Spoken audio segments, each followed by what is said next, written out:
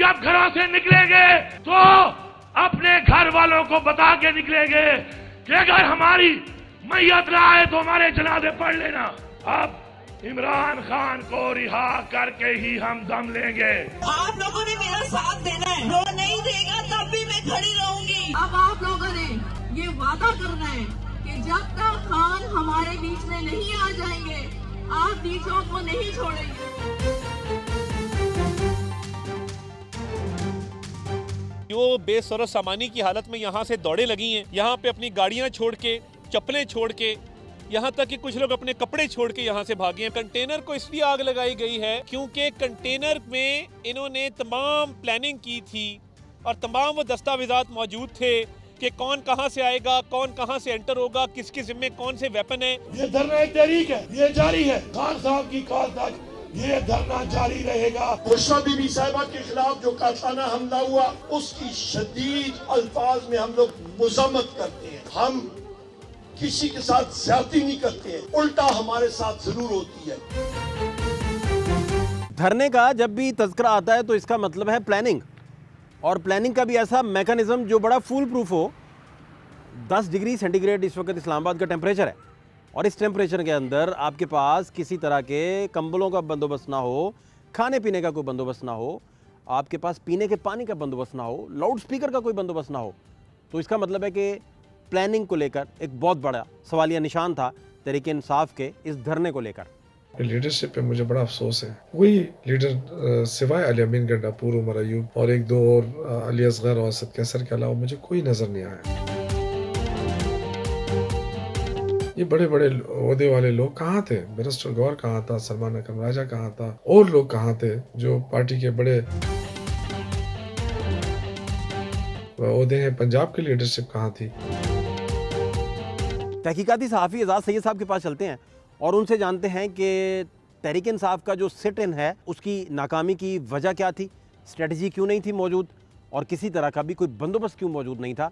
बुशरा बीबी का तो ये पहला धरना था जिसे वो लीड कर रही थी, लेकिन उनके साथ जो वज़ीर अला मौजूद है, उसकी काबीना मौजूद है, उनके सारे वो साथी मौजूद हैं, जो इमरान खान साहब के भी साथी हैं, उनके लिए तो ये पहली दफ़ा नहीं था।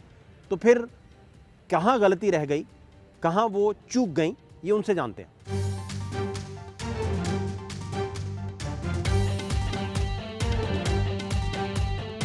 अगर सर्कल करें या रेड लाइन ड्रॉ करें कुछ किरदारों पर तो आपको क्या लगता है कि मिसकैलकुलेशन थी? तो इस मिसकैलकुलेशन पर तहरीक इंसाफ को वो कैसे चले गई? क्योंकि उनका तो एक्सपीरियंस्ड है, बड़ा बड़ा तजर्बा है, और अगर बानी पीटीआई भी कोई बात अपनी पार्टी को कन्वे कर रहे हैं तो वो भी एक एक्सपीरियंस आदमी है। और उन्होंने क्या नहीं देखा हुआ? 2014 से आप शुरू कीजिए, या 2011 से लाहौर से आप शुरू कीजिए, एक जम्मे गफ़ीर जब वो इकट्ठ उन्होंने कर दिया।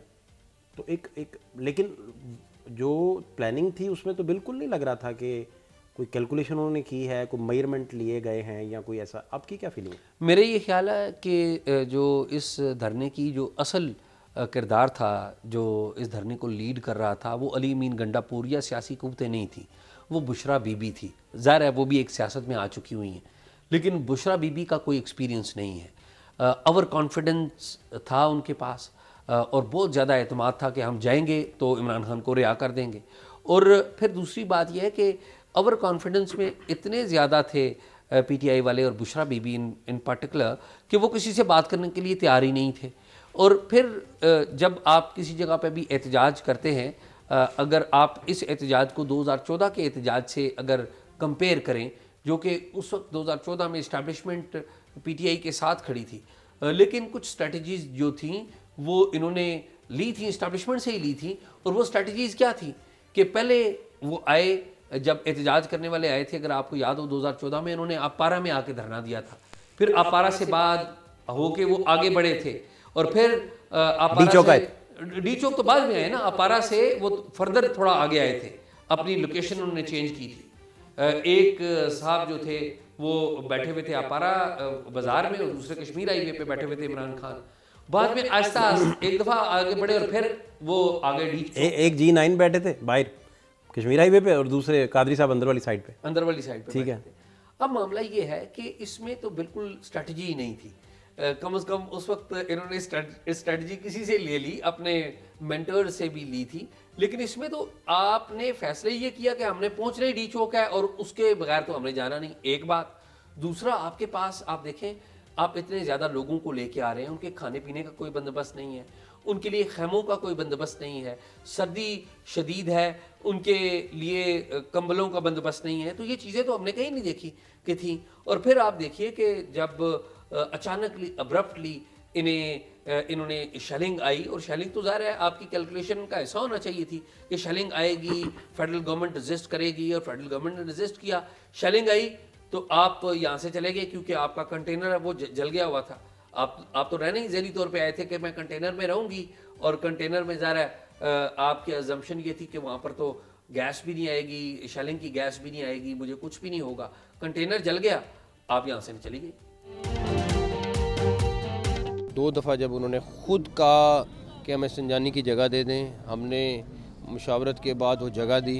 उन्होंने कहा कि हाँ वो हमें खान साहब ने भी ओके कर दिया है कि हमें संजानी जाके करना है। उसके बाद उनकी जो आजकल एक्टिंग प्रेसिडेंट हैं, उन्होंने कहा कि नहीं, मैं नहीं मानती इमरान खान का फ़ैसला और मैं डी चौक जाऊँगी। हमारा क्या मकसद? था हम क्यों डी चौक आए? बैरिस्टर सेफ़ ने कहा रात को कि इमरान खान संगजानी के ऊपर राज़ी हो गए थे और हुकूमत भी राज़ी थी कि संजानी पे हमें जगह मिल सकती है, हम वहाँ धरना दे सकते हैं। उन्होंने कहा कि बुशा बीबी नहीं मानी। तो अब ये क्वेश्चन पैदा होता है कि पार्टी जो है वो बुशा बीबी चलाएगी या ये जो लीडरशिप है ये चलाएँगे? बहुत सीनियर जर्नलिस्ट हैं सोहेल बड़ाई साहब। पाकिस्तान के मारूजी हालात को अगर समझना हो तो उन्हीं की आँखों से देखना पड़ता है। और ख़ास तौर पर बड़ी अहम जगह लिंक्ड हैं। बड़े अच्छे से उन तक इन्फॉर्मेशन का फ्लड भी आता है। और बड़ी खोज में रहते हैं बड़ी जस्तजू में रहते हैं। आ, वो क्या देखते हैं? क्योंकि उनका कहना है कि बुशरा बीबी को ज़ुबान बंदी की बुनियाद पर अली अमीन गंडापुर जो हैं वो डील कर कर रिहाई दिलवाई थी। तो फिर ये सारा स्नैरियो क्यों बिल्ट हुआ? और बुशरा बीबी को वो बड़े बेहतरीन अलकाबाद से और उनकी स्ट्रगल को बड़े बेहतरीन अलकाबाद से नवाज़ रहे थे। तो ये मामला ताकि डेड लॉक का शिकार कैसे बने? और ये ट्रैप तहरीक इंसाफ के लिए ट्रैप क्यों साबित हुआ? ये उन्हीं से जानते हैं।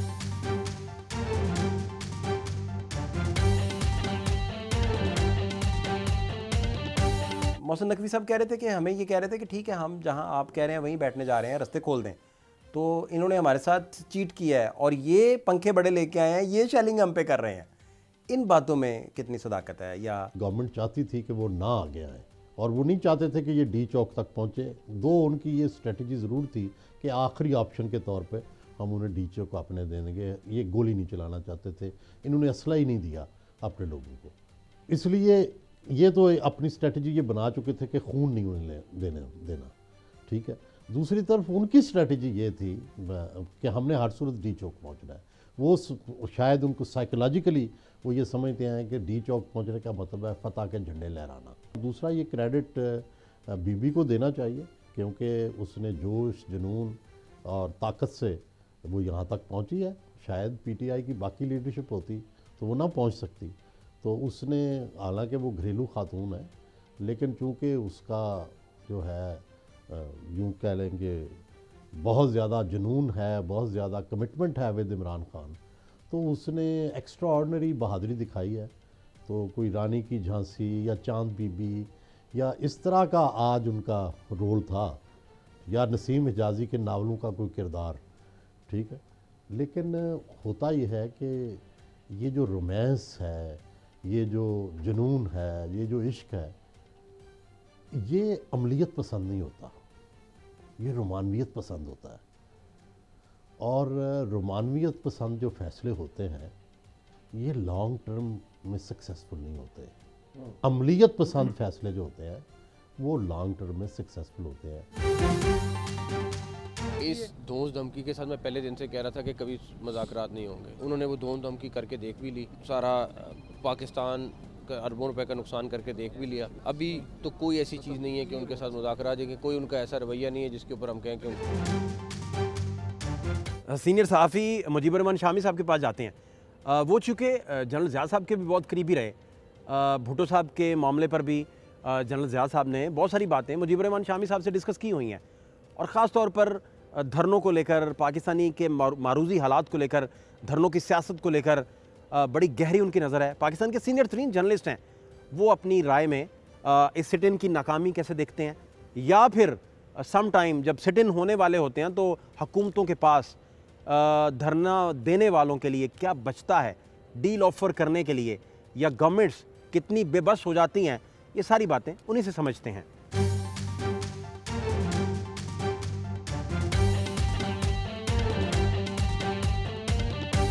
ये आप फोर्स ही कर पा रहे हैं कि हालात किधर जाएँगे, कहाँ जाके रुकेंगे, या ये इसी तरह चलता जाएगा काम? निज़ाम हुकूमत और निज़ाम ज़िंदगी और ये मफलूज रहेगा या ये ठीक हो जाएगा सारी चीज़ें और आहिस्ता आहिस्ता सारी चीज़ें अपनी अपनी प्लेस पे आ जाएँगी? देखिए, पाकिस्तानी सियासत जो है, उसके बारे में कोई पेश गोई करना तो बहुत मुश्किल बात है।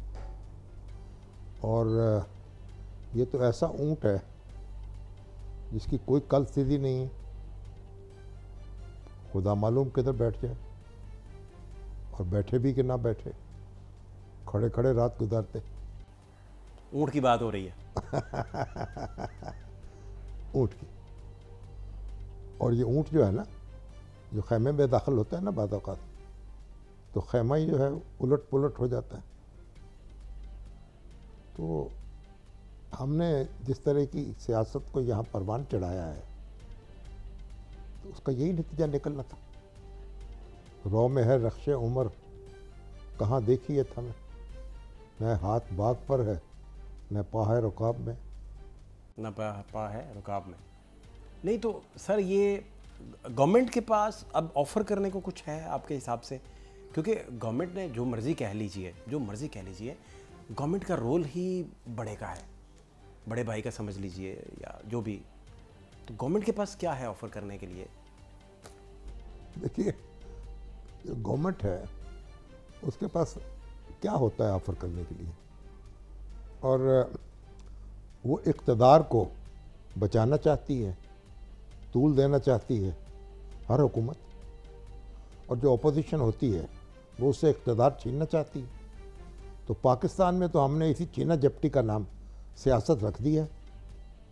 तो यहाँ तो हम धक्का देने पे तुले रहते हैं। जो हुकूमत है, अपोजिशन उसका धक्का देती है। और जो अपोजिशन है, वो हुकूमत को धक्का देती है। इसी धक्कम पेल का नाम जो है, वो बस हम कह लीजिए, पाकिस्तानी सियासत है। अली अमीन गंडापुर और बुशरा बीबी के इख्तलाफात की खबरें पिशावर से निकलने से बहुत पहले से रिपोर्ट हो रही हैं। इन खबरों की तस्दीक हमने शेख वकास अक्रम साहब से भी करनी चाहिए शौकत यूसुफ जई साहब से भी करनी चाहिए और असद कैसर साहब से भी करनी चाहिए और वो क्या बातें होती रहीं उन दिनों, क्या डिस्कशन हो रहा था बुशरा बीबी को लेकर, और ख़ास तौर पर जो बुशरा बीबी जिस तरह पार्टी पर कमांड कर रही थी, वो जब हम इनके पॉलिटिकल अलीट से पूछते थे, जो इमरान खान के भी बहुत करीबी लोग हैं तो वो अपना क्या रद्द अमल देते थे, वो भी बहुत इंपॉर्टेंट है। अभी बुशरा बीबी जो हैं वो लीड करेंगी इस तहरीक को जो 24 को निकलना है या उनके बगैर वो सुकून से घर बैठ के मोनिटर करेंगी? बीबी जो है ना मैंने ये कहा कि वो विक्टम है। हम्म। उसका रोल डेफिनेटली होगा आवाज़ में आवाज़ होगा। लेकिन ये जो इम्प्रेशन दिया जा रहा है कि उसने पार्टी को टेक ओवर किया है इसमें कोई हकीकत नहीं बुशरा बीबी साहिबा ने खिताब किया लोगों से। बहुत सारे लोग अली अमीन साहब तक गए। अच्छा। और उनको बताया कि भाई हम पार्टी टिकट के लिए काम कर रहे हैं आपके ख्याल से। हम्म। ये खान साहब का एक मैसेज था जो बुशरा बीबी ने दे दिया। और ये शायद बात इसलिए की गई कि उनको इंटेंसिटी बताई गई है कि ये इतना इंपॉर्टेंट है। खान साहब ने दोबारा कहा कि जिनको इस हवाले से चौबीस के हवाले से इख्तलाफ है वो शिरकत ना करें। बुशरा बीबी साहिबा के इधर होने से तहरीक में कितना फ़र्क पड़ा है? बुशरा बीबी गैर सियासी खातून है। ये क्या है कि इमरान खान का मैसेज दिया है हमें? और वो शायद वो समझती थी कि जो मैसेज इमरान खान का पहुँचता है वो एक्चुअल हालात में नहीं पहुँचता है। वो खुद उन्होंने मैसेज देना ज़रूरी समझा। बुशरा बीबी का अली अमीन साहब का जो कॉन्फ्लिक्ट रिपोर्ट हुआ उसमें कितनी सदाकत थी? तहरीक इंसाफ के लिए ये ट्रैप क्यों सेट हुआ? उसकी अपनी गलतियाँ क्या थी? वो इन गलतियों से कैसे सीख सकती है? और मुस्तबिल का अगर जायचा खींचें तो तहरीक इंसाफ कहाँ खड़ी होगी? ये वो सारे सवाल हैं जिनके जवाब जानने इंतहाई ज़रूरी हैं। बुशरा बीबी का तजर्बा तो नहीं था। उनके वज़ी अला वहाँ की काबीना वहाँ के लोग उनका तो ये पहला धरना नहीं था या पहला जलसा नहीं था। वो तो पाँच छः दफ़ा पहले भी लाहौर भी गए हैं बाकी दीगर एरियाज़ में भी गए हैं। तो उन्होंने भी गाइड नहीं किया कि हमें सारा इक्विपमेंट और सारा निज़ाम लेके साथ चलना है। या उन्होंने छोड़ दिया फिर बुशरा बीबी पे कि आप जो कहती हैं वैसे हम करते जाते हैं। मेरा ख्याल में जो बुशरा बीबी हैं उनको एक सेंस ये थी कि उनके अलावा इमरान खान से या उनके मियाँ से कोई ज़्यादा मुखलस नहीं है। और जो हम्म। बानी पीटीआई थे वो भी जेल में ये कह रहे थे कि मैं जिस हम्म। किसी लीडर पे अतमाद करता हूँ वो जाके इस इस्टेब्लिशमेंट के साथ मिल जाता है। तो उनको ख़ुद भी किसी पे अतमाद नहीं था इसलिए बुशरा बीबी आई। और बुशरा बीबी किसी का मशवरा सुनने के लिए तैयार नहीं थी। वो जो जो पार्टी लीडर्स जो भी मशवरा देते बुशरा बीबी का जो डिसीज़न है उनका अपना होता। और नतीजा ये निकला कि कोई प्रिपेयर्डनेस नहीं थी ओवर कॉन्फिडेंस था। वो बात के खान साहब मान गए हैं संजरानी बैठने पे और बुशरा बीबी नहीं मान रही। इस कॉन्फ्लिक्ट को आप कैसे देखते हैं? किस नज़र से देखते हैं? देखिए जो बुशरा बीबी हैं वो इमरान खान की एहलिया भी हैं और इमरान खान उन्हें अपना रूहानी उस्ताद भी मानते हैं। तो बुशरा बीबी की जो पूरी पार्टी जो है वो इमरान खान के पीछे है और इमरान खान साहब अगर किसी एक शख्सियत की बात मानते हैं आँखें बंद करके तो वो बुशरा बीबी हैं। तो ये वो वजह है कि जो उन्होंने अपना एक रूहानी उनका परसोना है, वो वो ज़्यादा पावरफुल है वो पीटीआई के जो लीडर है इमरान खान, उनको वो वीटो कर देता।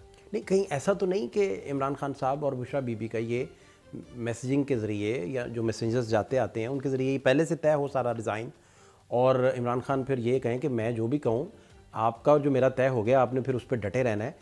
क्या गुड कॉप बैड कॉप जैसे नवाशिफ शबाशिफ अक्सर इस तरह, वो एक कुछ कहते हैं दूसरे कुछ कहते हैं ये हो सकता है मेरे इल्म में नहीं है बात तो इसलिए मैं इस बात ये हो सकता है, ये जो बात आप कह रहे हैं, ये हो सकता है, लेकिन मेरे बर रास्त इल्म में ये बात नहीं मैं देख रही हूँ सोशल मीडिया के ऊपर भी और बाकी जगहों पर भी बहुत ले दे हो रही है बुशरा बीबी के हवाले से कि जी बुशरा बीबी जो है ना, उस मुल्क बचाने के लिए वो निकली थी।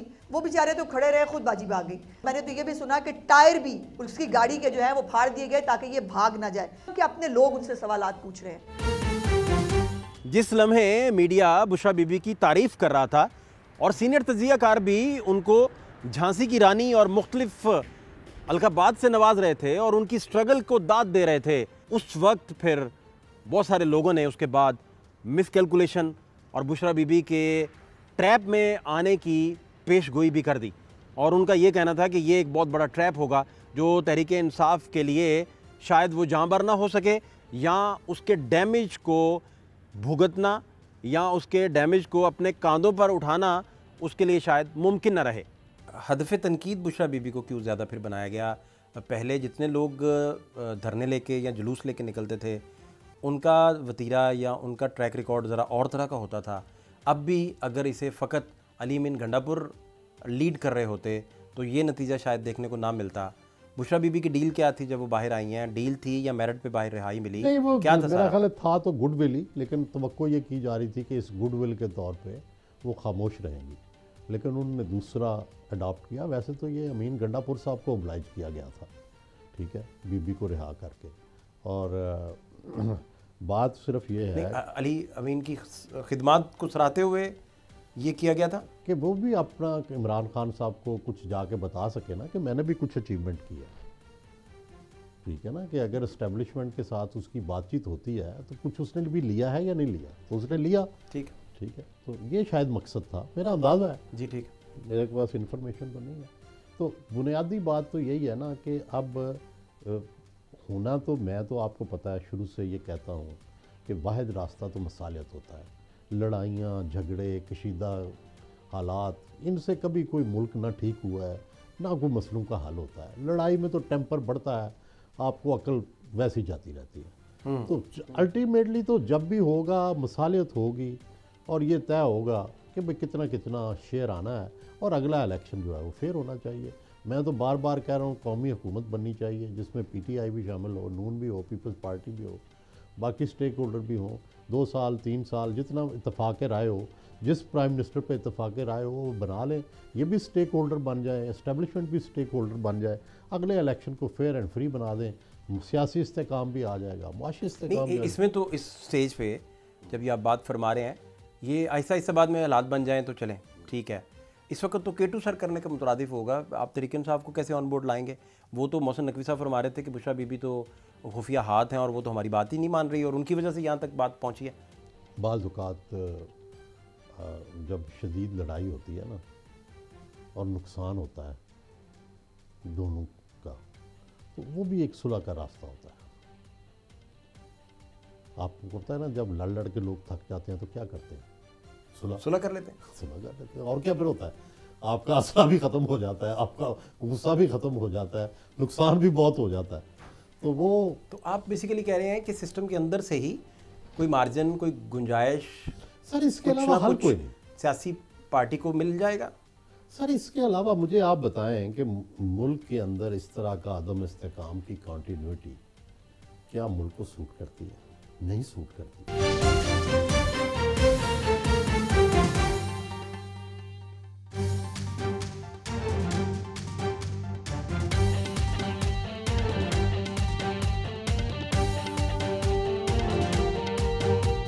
ये नहीं हो सकता कि इस पार्लियामेंट की मौजूदगी में फैसले सड़कों, चौराहों और मैदानों में किए जाएँ।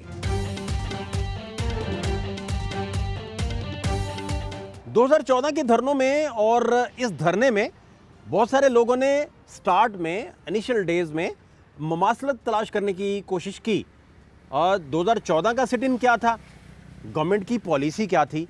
और उस वक्त नवाज़ गवर्नमेंट ने बहुत बैकफुट पर जाकर बाकायदा सरेंडर कर कर उन धरनों के ट्रैप से ख़ुद को बचाया था। उन दिनों क्या हालात थे बड़ी अहम है वो भी जानना। 2014 के धरनों में और आज की सूरत हाल में कोई मुमासलत आपको कोई ड्रॉ कर सकें या आपको लगता है कि ये दोनों अलहदा अलहदा चैप्टर्स हैं इनकी मुमासलत कोई है ही नहीं सिरे से कोई नहीं। नहीं नहीं ये 2014 का धरना जो है ना वो तो उमल खबाइश तो वही है ना। उसी से तो हमने इस तरह सियासत को ईजाद किया ना। उस वक्त इस्टेब्लिशमेंट जो थी, वो पीटीआई के साथ थी। आज पीटीआई के साथ नहीं है, ये फ़र्क है, बड़ा बुनियादी। और उस वक्त वो हजूम जो है, इतना इकट्ठा नहीं हो सका था। और अगरचे के के पी के की हुकूमत तो उस वक्त भी परवेज़, साहब जो परवेज़ खटक उनके पास थी। वो उनके नामजद करदा थे खान साहब के। लेकिन वो उस तरह से लोगों को इन्वॉल्व नहीं किया जा सके था। परवेज़ खटक बतौर वज़ी अला जब एक एहतजाज को लीड करते हुए आ रहे थे विफाक उस वक्त शेलिंग कर रहा था तो आसिफ सईद खोसा सुप्रीम कोर्ट में बैठे थे। हम सुप्रीम कोर्ट में मौजूद थे। तो उन्होंने कहा था होल्ड योर हॉर्सेस हम पेनामा फिक्स करते हैं। तो पेनामा फिक्स हुआ था और वहाँ से फिर बात पाँच सिफर से नवाज़ शरीफ के घर जाने पर जाके रुकी थी। ठीक है। हाँ वो आप ये कह सकते हैं, लेकिन जो धरना था वो तो कामयाब नहीं हो सका था। हालाँकि डी चौक में था और जो वज़ी अजम हैं नवाज़ शरीफ, उनकी रेट ख़त्म हो चुकी थी। उन, उनकी कोई बात नहीं सुन रहा था। अदारे उनके ख़िलाफ़ थे, एजेंसियाँ उनके ख़िलाफ़ थी, उनको पैगाम भिजवा रही थी कि आप इस्तीफ़ा दे दें या छुट्टी चले जाएँ। जाके ज़ीरो पॉइंट पर हमने धरना देना है और हमने अपने मुतालबात पेश करना है कि ये हुकूमत धानली की हुकूमत है और इसको एक दिन में रहना नहीं चाहिए। इनका इनका तख्ता खुद ही उलट जाएगा जिस दिन हम पहुँचेंगे वहाँ पर। क्यों इस्तीफा दे दबाव में आके। इमरान हो या कादर, डॉक्टर कादरी हो, वो चाहते हैं कि इस पाकिस्तान में कोई बेहतर निज़ाम हो तो हमें डायलॉग पे आना पड़ेगा। ये इसी तरह ही सर धरने पहुँच जाते हैं और लोग आ जाते हैं फिर और मेरा ख्याल पहले भी चौदह में भी आए लोग और नहीं देखिए उस वक्त भी अगर आप याद करें कि 2014 में भी खान साहब को चौधरी निसार अली साहब इंटीरियर मिनिस्टर थे और उन्होंने आने दिया था। उसकी वजह यह थी कि बहुत दबाव पड़ गया था आप पारा के करीब। चौधरी निसार बेचारे पे इल्ज़ाम ही है। वो तो बात दुरुस्त है आपकी फैक्चुअली हाँ। एक हज़ार फ़ीसद दुरुस्त है। हाँ। लेकिन मेरा ख्याल है कि वो ज़्यादा रगड़े गए इस चक्कर में। नहीं नहीं लेकिन ये तो सच है ना कि उन्होंने पब्लिकली अनाउंस किया तो फिर ज़ाहिर है आने दिया। लेकिन उसका फिर नतीजा क्या निकला कि 126 दिन का धरना हो?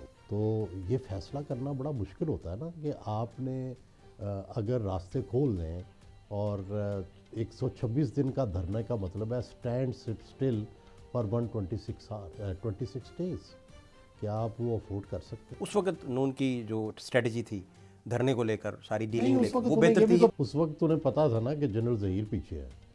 उस वक्त उनके लिए ये भी तो प्रॉब्लम था कि उनको ज़बरदस्ती उठा नहीं सकते थे उनके खिलाफ एक्शन नहीं ले सकते थे क्योंकि उनको पता था कि पीछे जनरल जहीर हैं। उस वक्त सारी टेप्स जो हैं वो आ चुकी थी प्राइम मिनिस्टर के पास और वो ये शिकायत जा जाके जो है जनरल रहील शरीफ को दे चुके थे।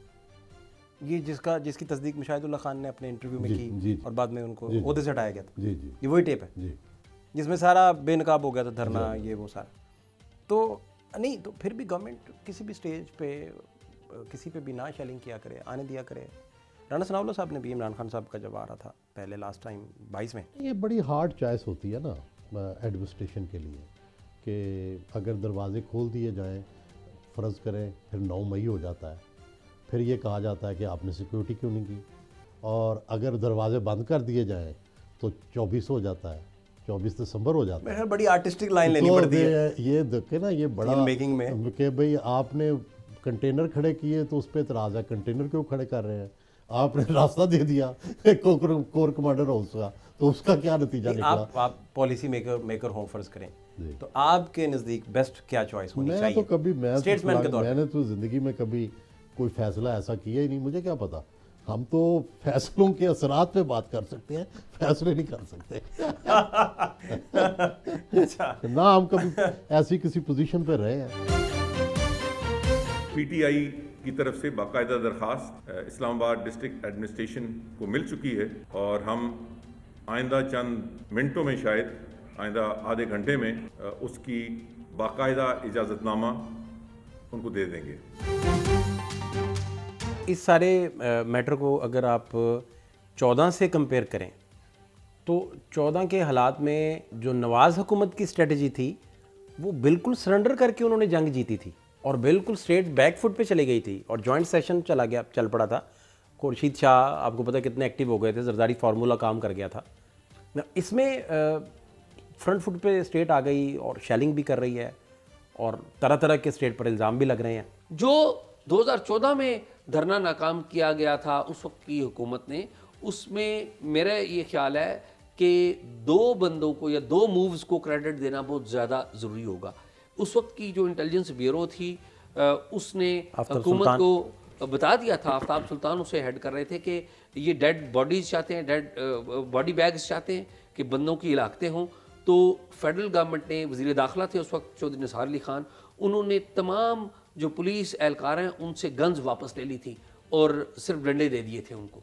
ताकि गन नहीं होगी तो ज़ाहिर है चलेगी भी नहीं। बाद में तो पता भी ना चलता कि किसने फायर किया।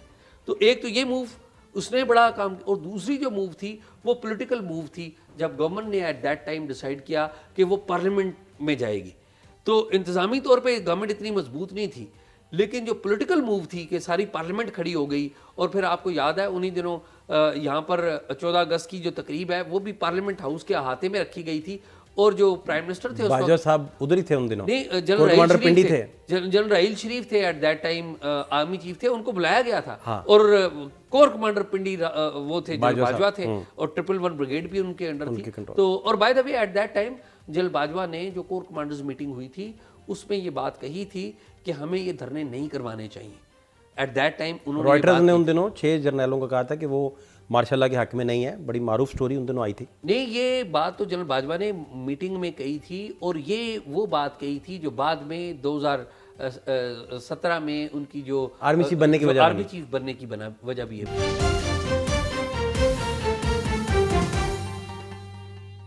2014 के धरनों में चौरी निसार अली खान ने यह तस्करा किया था कि इमरान खान साहब ने उनको चीट किया है और वो डी चौक चले गए हैं।